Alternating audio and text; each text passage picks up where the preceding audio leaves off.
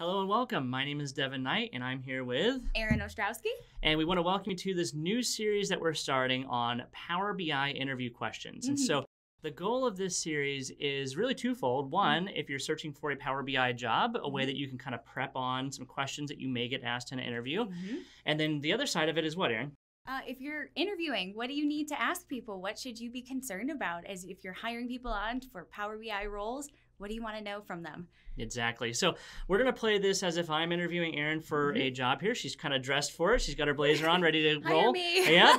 Uh, and so we'll do kind of two things here. We'll do a little role playing where mm-hmm. Erin will actually ask, answer the question mm-hmm. as if uh, she was actually interviewing. And then we'll kind of break the fourth wall for a moment here and actually talk about it together and banter back and forth. Yep. So let's go ahead and get started. All right, sounds good. So first question I have for mm-hmm. you is: I work. For, I have, this is a very large company you're interviewing for. We're okay. huge.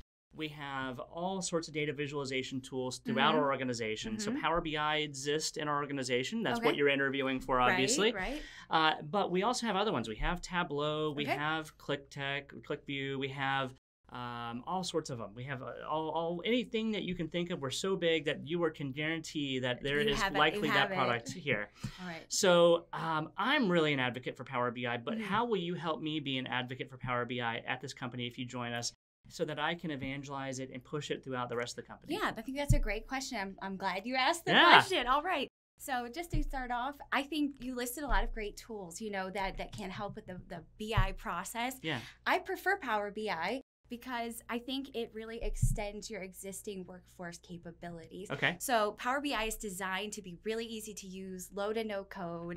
And if, if your users know how to use Excel, if they know business processes, business rules, yeah. then they can get their hands involved from beginning to end in that BI process and drive insights to the table That's great. so much more quickly. And they can do it at a relatively low cost per user. And so that's great. It's scalable, it's cost effective, and it's something that your existing workforce can use across the board. That's a great answer. So let's talk yeah. about it a little bit more here yeah. together. So if you can see here, we built a little slide where we can kind of talk about this. But a couple things that you mentioned, I think we will highlight here again, but mm-hmm. it's very end user friendly. Mm-hmm. You mentioned Excel as a tool that if you have that Excel yeah. background, you'll pick up Power BI rather mm-hmm. quickly. I mm-hmm. totally agree with you there. Um, another great one that you mentioned as well is the ability to get to insights rather quickly. Absolutely. So it is very simple to be able to go from not even having a connection to your data to mm-hmm. a solution in a short amount of time with Absolutely. Power BI. Absolutely. And I think it beats out a lot of the other tools in that regard when it comes to being mm-hmm. able to go from nothing mm-hmm. to something. Um, you talked about costs as well. Yep. I don't I don't want to get into the details of pricing because that can vary per person and per what you're trying to do. Right. But comparing Power BI to other tools, the pricing is considerably lower, mm-hmm. generically mm-hmm. speaking or generally speaking, uh, with Power BI as opposed mm-hmm. to other tools. I think you totally nailed that. And then uh, talk about this one for a moment. Yeah. This is I know this is one of your favorite it's topics actually, as well. It is. It is. So it, uh, Power BI being part of this larger suite of tools, what does that yeah, mean? Yeah, absolutely. So when you start to leverage and and use Power BI, you're actually gaining access to a, a power platform. And so yeah. it's kind of a marketing term, right? Power platform. But really, what it is, simply put, is three tools. You've got your Power BI, uh, you've got Microsoft Flow, which is your workforce automation logic, sort of like the, the citizen developer version of Logic apps, if you're familiar on the enterprise side. And then Power Apps, which allows those line of business rapid development applications. Yeah. And so those all work together beautifully. You can do write back, they can speak to each other, you can combine your analysis with your yeah. interactivity. So I'm a big fan of the whole platform. So I think Power BI is it has more chops because it has you know family so to speak that comes to the table. Absolutely. There's a lot yeah. of huge benefits to yeah. being connected in with those other things. Yeah. And i'm finding a lot of people don't aren't aware of those yet. So coming to an interview with that knowledge in mm-hmm. advance is a huge benefit where you maybe the company is using power bi but they're not aware of the other tools. Absolutely. And you can get them started. And that's on the citizen developer side. You know we're talking about business users but also on your it developer side you start pulling power bi into it you're going to get that great Azure extensibility with different services, cognitive yeah. services, AI, machine learning. So it's really both sides of the coin, I think. I like it. Yeah. All right, so let's talk about our next question here. So right. the next thing I want to know about is okay, you've convinced me of Power BI. Great. Boom, it was that, was that easy. I was already in love with it. You convinced awesome. me. Um, but I want to understand as my team start to actually getting in, get into developing Power BI solutions. Mm-hmm. What are some of the stages of development? What are some of the things that they're yeah. going to need to be aware of Mm-hmm. Uh, and mm-hmm. hopefully, as a Power BI expert that I'm considering mm-hmm. hiring, you already know these and you can kind of talk me through them, right? So yeah, what, so it sounds kind of like you're talking about like what are the stages of development in the business intelligence process and yeah. how does play, Power BI play into this. So if you don't mind, let's go over to the desktop and I can really quickly kind of show you, you know, how that process would sort of implement itself. Sure, let's do it. All right. All right, so we're here in the Power BI desktop. Hey, always a great idea in an interview if you can show rather than Mhm. just tell about it. Great. You could maybe, if you had to, even you could whiteboard this. But we have the luxury of looking at this within the tool. So ta- Mhm. talk me through these different stages of development. All right, so welcome to the Power BI desktop. Let's take a look at this upper left corner over here and run through the process.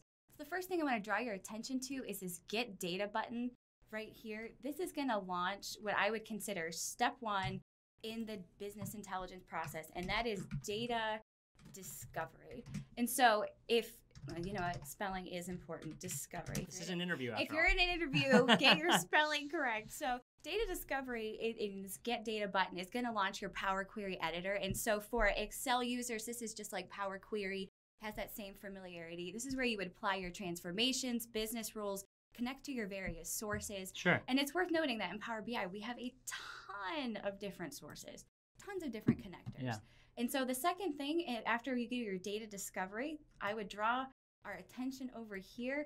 These two different icons, these buttons over here in the tab, have your data view and your relationship view. And so this is going to lead us into step two in the process, which would be your data modeling. And so Okay. we would create relationships. Uh, this is where DAX would come into play. So oh, if you're familiar again with sort of Excel, this is that uh, analysis expression language that's going to allow you to create relationships, measures, and, and really draw out those insights. And then the third piece and a very exciting component of Power BI is right here, this cute little chart icon. And this is where we would do our data visualization. So this is where you're thinking of like sort of your typical report building, um, data storytelling, bringing those insights Yeah. together and and really sharing those insights so people can make positive decisions that best impact your bottom line. makes sense. So that's kind of the three process data discovery, data modeling, data visualization, all in one tool, all pretty quickly available and all all included. And I like what you mentioned about this is it really does you kind of generically spoke about it from a BI perspective because it would apply no matter what BI tool you're likely using. You need to do all these steps. Absolutely, yeah. The process Um, is going to be there, and It might be with multiple place. tools if you're having to That's use right. other solutions, but with like you said with Power BI, they're It all it all integrated here in together. one. And there's Yeah. a sort of familiar experience. Yeah, absolutely. All right, so great answer. I loved it. I love that you actually either whiteboarded or actually Mhm. drove me through that so I can understand it a little bit better. So now take me through, I guess, within Power BI, there are some different moving pieces and parts to it, Yeah. different components to Power BI. Absolutely. Uh, talk me through those. I want to I want to make sure you have a good understanding of what pieces and parts go in when, with Power BI here. Yeah, sort of what's the structure? What is it made of? What makes Yeah. Power BI? So, uh, the first thing I would draw our attention to is the Power BI desktop. Okay. And so that's something you would install on your computer. That's where you're going to do a lot of report building. Like we just showed you in the, the second answer, you can go through all three steps in your your your process for business intelligence there. Uh, and then you have the Power BI service. Yeah. And so the service is really designed for us to uh, engage a lot of our administrative rules, apply role security, schedule refreshing, and most importantly, probably, is it's to share those reports, share Right. those insights with all of your end consumers, right? And then, of course, Power BI is is designed to be completely compatible with the mobile. We've got Sure. mobile apps. It'll run on Windows. It'll Windows phones, but it'll run on it'll run on your Two your people got really excited when iOS, you said that. your Windows or Android, all your different systems. And then there is Power BI for developers. So Yeah. there's uh, API capability there. You can use embedded. You can really build it out extensively on the uh, on the other side, on the development side. Yeah. And I would mention that there are on, and this is for, excuse me, there are on premises uh, differentiations too. If you're using on premises sources, then you're going to probably want a gateway, your data gateway connected. Sure. And then your reporting is going to be a little bit different. So, excuse me. Yeah, that's great. So in, in some cases, if it's a great answer. Uh, in some cases, if you were doing uh, this interview question, you might have questions back to the interviewer enough, as well. yeah. You might say, well, where's your data at? So you, you yeah, brought up a great point. that's very true. Yeah, You brought up a great point of you might need the data gateway, so you might respond back and say, and it's always great to ask questions back to your interviewer and, and, and interviews, but So you'd say, what kind of data do you have? yeah, yeah, exactly. true. so I'd say, hey, I got a little mixture of data here and there, and then you perfect bring you, hey, you're probably going to use something like the data gateway to handle stuff like okay, that. Okay. Yeah, that's a good point. All right, so let's d- again break the fourth wall here for All a right. minute and let's dig into this a little deeper. We got a slide here we can talk about this with, so let's take a look. So you touched on every one of these components. Mhm. The big one, obviously, the Power BI desktop. Folks are Yep. going to spend the majority of their time using the Power BI desktop if they're developers, of course. Then you mentioned, of course, once they finish with the Power BI desktop, they'll publish off to the Power BI service. Mm-hmm. And now, what would they do if they're not a cloud user? So let's say they're not using the cloud. Yeah, so they would use the Power BI report server. Yeah, absolutely. And so that's for the on-premises option, basically. Yeah. So you, if if you weren't if your company that you were interviewing for, another question you might ask them is, hey, are you guys using the cloud? If you, if they Yeah. are using the cloud, then yeah, they're prob- probably using the Power BI report server. Uh, they might, I'm sorry, they might be using the Power BI service if they're using the cloud.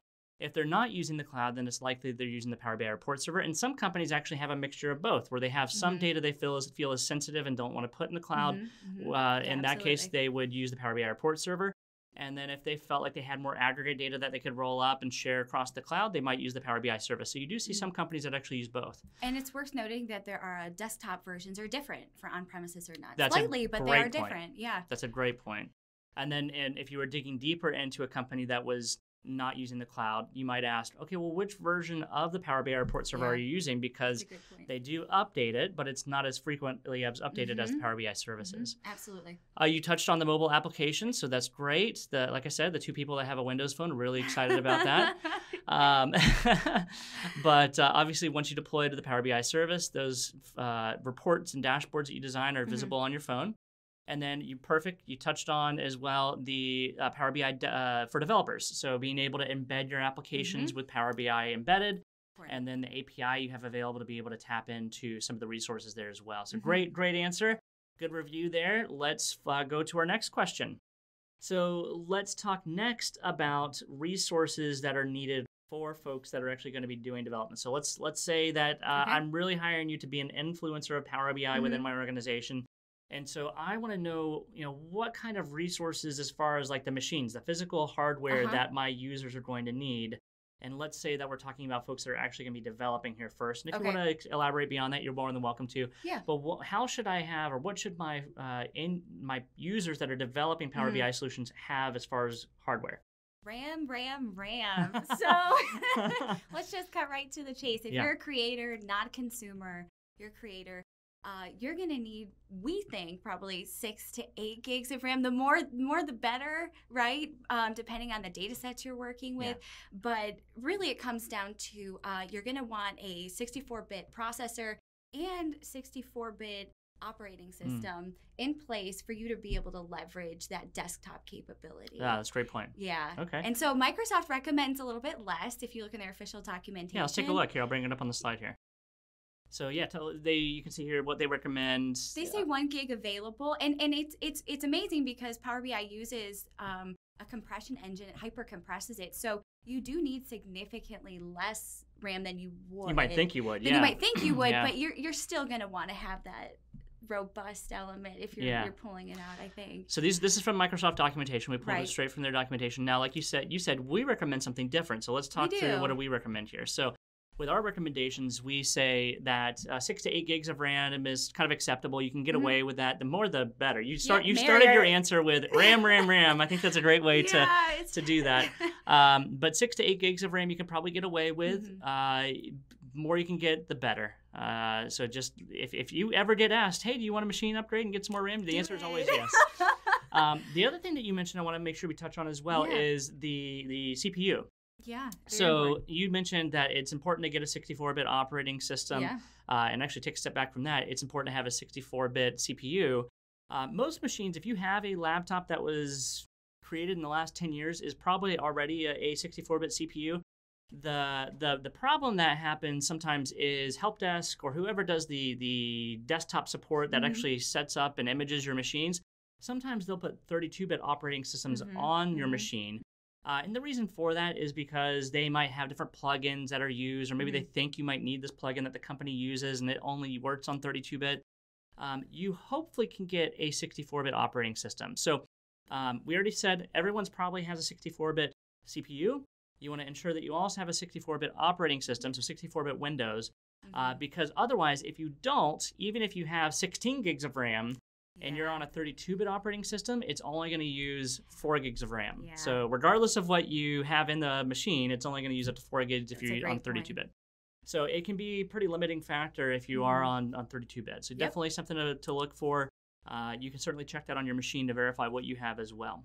All right. Great one. Let's go to the All right. last question. All right, good deal. Let's uh, move on to the last question I All have right. for you. So we talked about kind of physical hardware that my Mhm. user should have. Uh, what about software? So what kind of software do they need to have installed on their machine to get going with Power BI? Is there a lot? Kind of, kind of walk me through that. Yeah, absolutely. So to get started, you would want to download that Power BI desktop. If you're a Power user, you're a creator, Yeah. get that desktop. Uh, make sure your machine can handle it, which it should be able to. Yeah. And and get that desktop, and you will be well on your way to getting started. If you're just a consumer, you need browser access. So Right. just to get to that service and be able to view the reports. Um, administratively, I think you may be considering. Are we on premises? Not. You may have some additional things to set up your data gateway Sure. Yeah. uh, Power BI report server, yeah. that type of thing. But really, your desktop, get your your accounts created in the service, and then go from there. You're you're pretty close to ready. It's pretty simple setup. That's a great answer. So if you're interviewing, definitely, like you said, engage and ask about, do you need the data gateway? Yeah. Where's your data stored at? So Definitely things like that uh, you know data gateway is something you may need to have installed so if you're asked that be prepared to have that as an Mhm, answer so let's mhm. let's show this on screen here as well we'll kind of Alright. do a little picture in picture here so you, you touched on a lot of these items power bi Mm-hmm. desktop clearly if you're going to have people developing power bi solutions pretty important uh, that that'll be one of the easiest ways to be able to connect to and get data in to be able to build reports and uh, manipulate the data and that sort of Mhm, thing so you mhm. touched on that perfectly um, end users may not necessarily need the power bi desktop like you No. said uh, so if Maybe they're just going to be viewing results and Mhm. not actually building solutions, then they need a web browser and be able to have a log into Yeah. powerbi.com, the Power Yeah. BI service. Or if they're using the Power BI report server, Mhm. a log into that, which also Right. still needs a web browser. Um, you touched on the administrator capabilities as well. So we talked about this a little bit before Mhm. we were prepping for this. Uh, in some cases, uh, who runs the administrative capabilities of your company may vary. It may be you have a developer that's actually Mhm. doing the administration right. uh, for Power BI, which is not necessarily a good thing. Uh, or it might be a DBA or an Mhm. Office 365 administrator that's picked up some of the Power Mhm. BI uh, capabilities for administration. Things really vary because Power BI is still a pretty new tool. A lot of people Mhm. are feeling out who runs Yeah. that part of the business. Yeah, we were talking about that roles being a bit flexible as this technology is emerging, as this movement of citizen Yeah. You know, you may have the personality and the chops to be the administrator, Yeah. or at least the the positioning to do it. So Yeah, absolutely. It may be you're you're part of the interview and needing to know some of that administrative stuff, but yeah, you might be getting set up to be that administrator. The yeah. administrators being interviewed. Yeah, you don't even know it. Absolutely. So you also touched on uh, whether your data is on premises or in the cloud. Yeah, you talked about the data gateway, so we have that here as well. And then finally, another install would be if your company's not using Power BI in the cloud, right. would be that Power BI report server. So if you're doing on-premises Power BI, you'll need to Mhm. make sure you have that. hmm definitely. Great answer. I All right, appreciate cool. Well, thanks for interviewing me. I Yeah. hope you hire me. Yeah, let's do a quick wrap up here, and then we'll uh, and be done for this one. All right. Well, thank you so much for joining us for this first edition of our Power BI interview questions. Erin, thank you for interviewing with me. Thank you. I think the these first five questions you did great. I might ask you some more questions in our next one to make sure you, get the job. Yeah, I think you should. you did a great job though. Um, so look for more of these videos to come out. As Mhm. always, we'll you'll see these on our YouTube channel.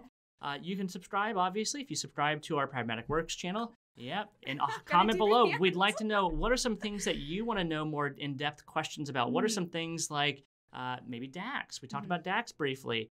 Yeah. Um, What are some things that you think we should also talk through? Would be great interview questions, and then also answers to don't go along with yeah, them as well. absolutely. Or maybe you've been asked a, an interview question that you're like, ooh, that I didn't know how to answer that. I so like that. bring that up. Yeah. Yeah. that's great. Also, of course, make sure you hit the notification to make sure you get notified whenever we have new videos. And again, thanks, Erin, for Thank joining me, and thank you for having me as well. Yeah. and uh, we'll see you on our next video. Thanks a lot. Take care.